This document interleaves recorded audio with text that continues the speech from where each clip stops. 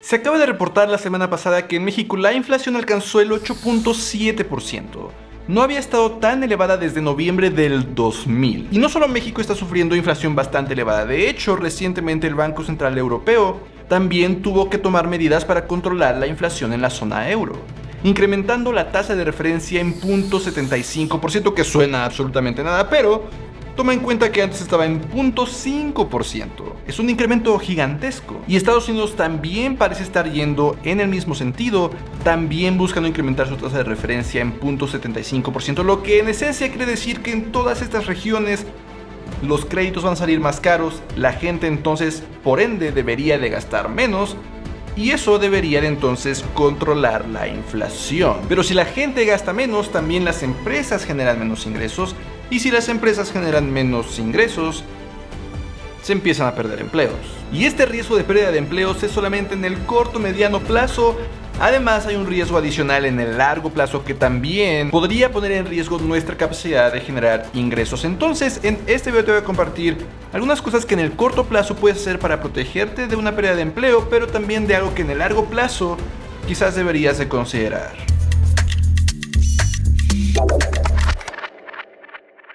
Hola, yo soy Eduardo Rosas, soy licenciado en Finanzas y Banca y en este canal hablo sobre todo lo que debieron enseñarnos sobre finanzas personales en la escuela. Así que, si es tu primera vez por aquí, considera suscribirte. En este video nos vamos a enfocar en hablar sobre cómo es que podemos preparar nuestras finanzas para que soporten una potencial pérdida de empleo, sea en el corto plazo por ese riesgo de inflación elevada, de posible recesión, de pérdida de empleo simplemente porque la gente gasta menos, pero también de un riesgo que podríamos ver en el largo plazo, del que voy a hablar un poco más adelante en el video.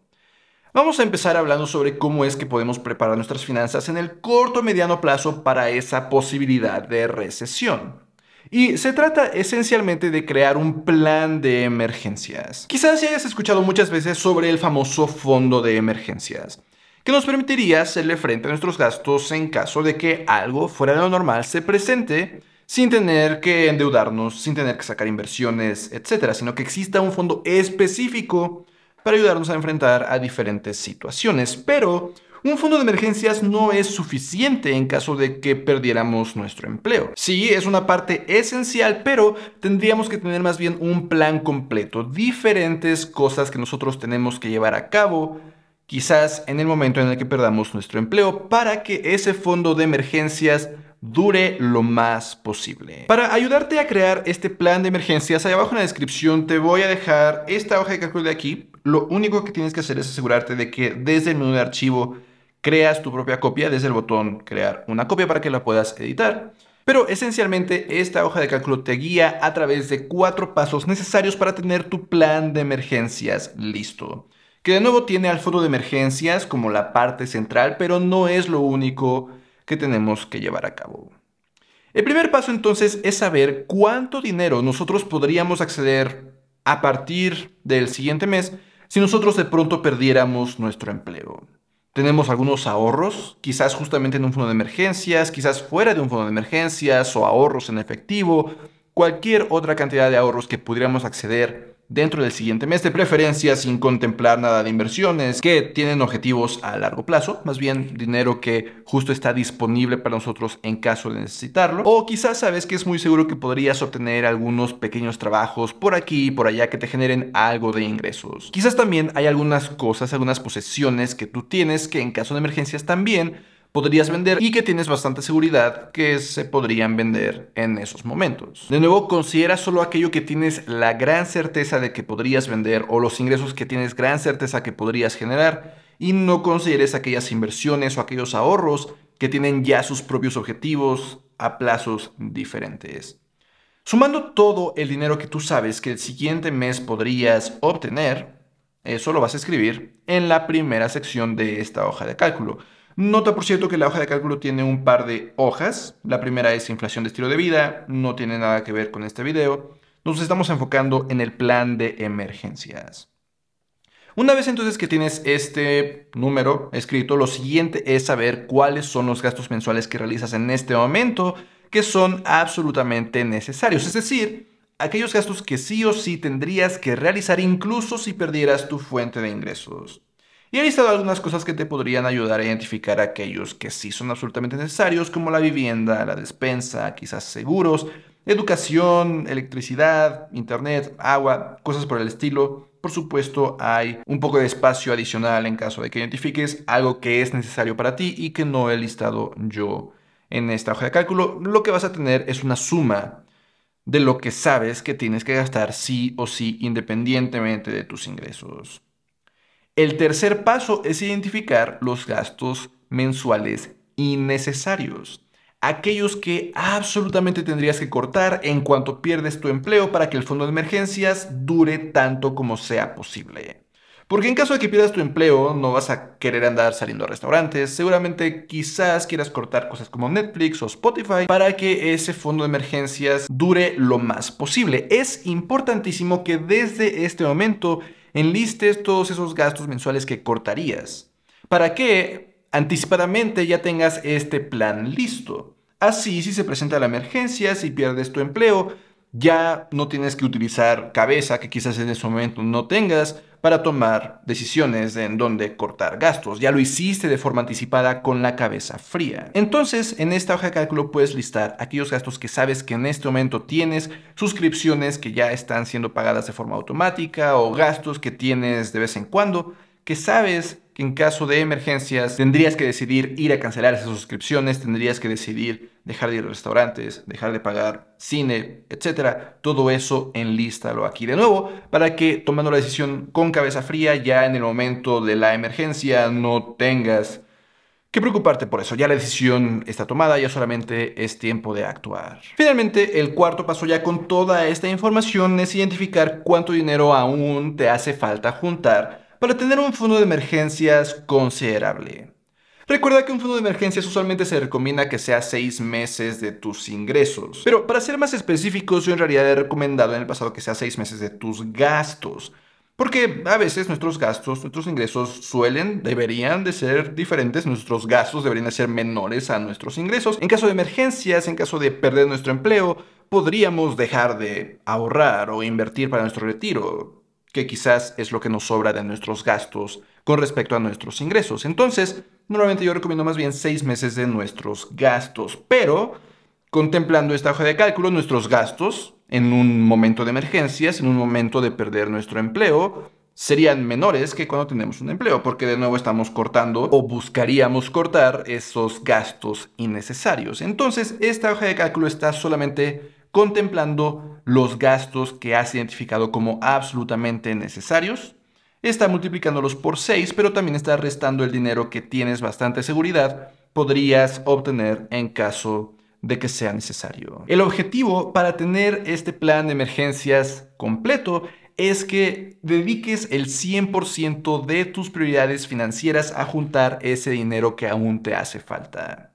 El 100% de tus prioridades. Puedes posponer el ahorro para tu retiro, puedes posponer el pagar deudas más rápido, seguir pagando mínimos, por supuesto, pero dejarlo de lado un poco en este momento es importante que mínimo 75% de tus prioridades financieras sean destinadas a juntar este fondo de emergencias que podría ser bastante, bastante valioso.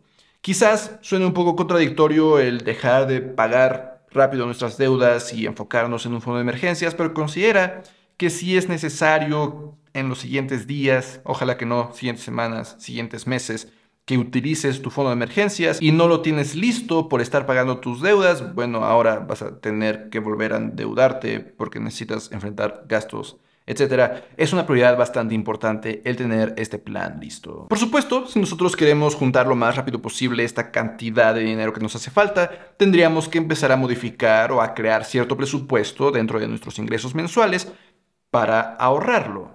Si quieres ayuda paso a paso a crear este presupuesto, quizás eventualmente a pagar tus deudas, planear tu retiro, planear tu portafolio de inversión, quizás incluso empezar con solo las matemáticas básicas para administrar tu dinero, generar nuevas fuentes de ingreso, mi curso de finanzas personales te guía paso a paso a lo largo de todas estas etapas y algunas más. En este momento mi curso tiene 20% de descuento utilizando el cupón YouTube en el enlace que está ahí abajo en la descripción donde también vas a poder ver el temario completo. Pero esta es la forma en que podríamos preparar nuestras finanzas en el corto, mediano plazo para enfrentarse a una posible pérdida de empleo. Pero estaba hablando al principio de que hay un riesgo en el largo plazo, que también podría ser posible que perdiéramos nuestro empleo o podría ser difícil conseguir empleos mejores en el futuro. Y me refiero a la posible automatización de millones y millones de empleos en el mundo. Esta automatización a través de software o a través de robots ha empezado a hacer que muchos empleos empiecen a ser perdidos o muchos dejen de ser necesarios o que el mismo empleo pueda realizarse con mucho menos personas. Tan solo un ejemplo rápido, cuando Blockbuster estaba en auge por ahí del 2000, 2004, tenía más de 83 mil empleados. Hoy en día Netflix puede hacer más o menos lo que hacía Blockbuster con solo el 13% de los empleados que Blockbuster tenía en su punto máximo. También poco a poco vehículos autónomos podrían reemplazar muchos empleos de transportistas al mismo tiempo de que reducen la cantidad de accidentes que suceden. Hoy en día ya en varios hospitales a través de robots un solo cirujano puede hacer el trabajo que antes requería de 6 o 7 personas. Y mientras que en este momento estos ejemplos son bastante aislados y quizás algo que no vemos venir tan rápidamente, lo cierto, las cosas pueden cambiar muy rápido y tu trabajo podría ser automatizado en los siguientes años. Ahora, es muy probable, de hecho, que en este momento tú estés pensando que tu empleo es de aquellos pocos que no serían fácilmente automatizados. De hecho, se estima que por ahí del 54% de las personas cree que su trabajo no sería fácil de automatizar, cuando en realidad solamente por ahí del 3% de los trabajos son difíciles de automatizar. Entonces lo más probable es que tu trabajo eventualmente podría ser automatizado. De nuevo, las cosas cambian bastante rápido. Solo para darte un ejemplo, Kai Fu Lee, que es un experto en inteligencia artificial que ha trabajado con muchas empresas en el desarrollo de esta tecnología, tanto en China como en Estados Unidos, escribió este libro hace cuatro años, hablando precisamente de estas superpotencias en inteligencia artificial. Y en su libro tenía este par de gráficas, en donde él listaba algunos trabajos, algunas profesiones que según su información, de nuevo él muy involucrado en el desarrollo de la inteligencia artificial, creía que serían difíciles de automatizar. Y por ahí empezaba a listar a artistas, por ahí empezaba a enlistar a desarrolladores de software, enlistaba también a columnistas, como aquellas profesiones que podrían ser un poco difíciles de automatizar. Sin embargo, hoy, escasos cuatro años después, ya existe software que del Internet, de muchas fuentes de información, puede generar una columna tal como lo hace un reportero. Ya hay software que, de nuevo, con una base de datos muy grande, puede escribir el código necesario para crear aplicaciones sencillas, tal como quizás lo haría un desarrollador de software. Ya hay varias aplicaciones en Internet que quizás has notado que simplemente escribiendo alguna descripción pueden generar imágenes bastante interesantes, bastante únicas, quizás de una forma similar a como lo haría un artista o incluso un diseñador gráfico. Entonces, si bien quizás reporteros de investigación o ingenieros de software involucrados en el desarrollo de nuevas tecnologías o artistas muy buenos cuyo trabajo termina en museos, quizás todos ellos tengan su trabajo relativamente seguro, Desarrolladores más pequeños, artistas independientes, columnistas de periódicos o con sus propios blogs deberían de darse cuenta que hoy ya existen las herramientas para reemplazarlos. Y poco a poco va a tener muchísimo más sentido el hacerlo. Poco a poco será muchísimo más barato usar a una inteligencia artificial para hacer el trabajo que usar a personas que obviamente cobran más. ¿Cuál es entonces la solución en el largo plazo a este problema? Bueno, la solución definitivamente no es nada sencilla, porque parece que estamos en una especie de transición hacia un estilo de trabajo difícil de sobrellevar. Hemos visto transiciones en estilo de trabajo en el pasado. Muy recientemente, quizás tus padres, quizás tú, teníamos en mente que durante toda nuestra vida laboral, quizás 30, 40, 50 años, íbamos a trabajar en una sola empresa. Hoy en día quizás ya esa no es la idea, pero seguimos teniendo una idea similar, de que durante toda nuestra vida laboral, 30, 40, 50 años, vamos a trabajar con una sola profesión. En el futuro ni siquiera esto va a ser viable y más bien vamos a tener que a lo largo de nuestra vida no solo trabajar en diferentes empresas, sino también tener diferentes profesiones. Quizás actualizarnos cada 10 años con lo que todo conlleva, el cambio gigantesco de industria, de nueva profesión, de estudiar, prepararnos para poder llevar a cabo esos nuevos trabajos y hacerlo continuamente cada 10 años. Esto definitivamente no es algo que todas las personas quieran o puedan llevar a cabo, pero si quizás empiezas a prepararte un poco desde este momento, podrías tener tus finanzas o incluso simplemente tu vida más preparada para esos posibles escenarios. Si entonces quieres disminuir la probabilidad de que la automatización eventualmente te deje sin ingresos, creo que podríamos regresar a echarle un vistazo a esas gráficas que Kai Fu Lee compartía hace unos años en su libro e identificar aquellas profesiones que siguen en la zona segura. Solamente en la zona segura ignorar las demás profesiones porque esas podrían ser automatizadas relativamente fácilmente y rápidamente, y enfocarnos en aquellas que o requieren de una interacción social bastante elevada, requieren de alta destreza en un entorno no estructurado, usemos aquellas que tanto requieren de alta relación con la sociedad como de una creatividad única en el ser humano. Ahora, la idea en este momento no es que identifiques a una de estas profesiones y vuelvas a empezar tu carrera profesional y ahora te dediques a eso, sino que más bien empieces a adquirir habilidades relacionadas a esas profesiones a través de gigs. Diane Mulcahy, en su libro La economía gig, de Gig Economy, comparte esta idea post-trabajo, post-profesiones, en las que nosotros llevamos a cabo diferentes gigs, diferentes trabajitos, para empezar a generar nuestros ingresos, más allá de tener un solo empleo o una sola profesión, podemos hacer diferentes cosas. Honestamente no veo completamente viable el que solo nos dediquemos a hacer trabajitos, pero sí, durante los siguientes 5 o 10 años podríamos empezar a realizar gigs, trabajitos, adicional a nuestra profesión, adicional a nuestro trabajo principal, que nos ayuden a empezar a adquirir habilidades que podrían ser útiles después. Yo, por ejemplo, hace unos años, cuando me dedicaba completamente al desarrollo de software, también empezaba a hacer gigs por aquí y por allá, en los que tenía que dar clases, en los que tenía que grabar videos, tenía que aprender sobre marketing, sobre negocios, incluso sobre psicología, que ahora todas esas habilidades que adquirí a través de esos gigs me han sido tremendamente útiles en la creación de este canal. Algo así es a lo que me refiero cuando digo que para disminuir la probabilidad de que en el futuro se automatice todo tu trabajo y ya no tengas forma de generar ingresos, puedas tener un trabajo central, una profesión a la que te dedicas en este momento y en la que sigues creciendo y a la que le sigues dedicando mucho tiempo, pero empiezas a tener gigs que te permitan obtener habilidades fuera de las habilidades que estás adquiriendo en tu trabajo principal.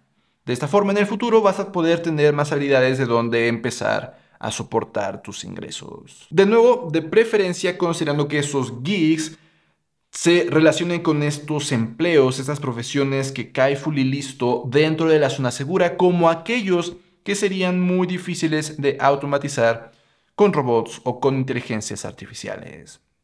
Pero ahí lo tienes dos formas en el corto y en el largo plazo en que tú puedes empezar a prepararte a ti y a tus finanzas para soportar esos riesgos que siempre están latentes de que nosotros perdiéramos nuestros ingresos. Espero, como siempre, que este video te haya sido de utilidad. Si fue así, me ayudaría muchísimo que compartieras este video con otras personas que quizás consideres que les ayudaría. Y nos vemos en la próxima.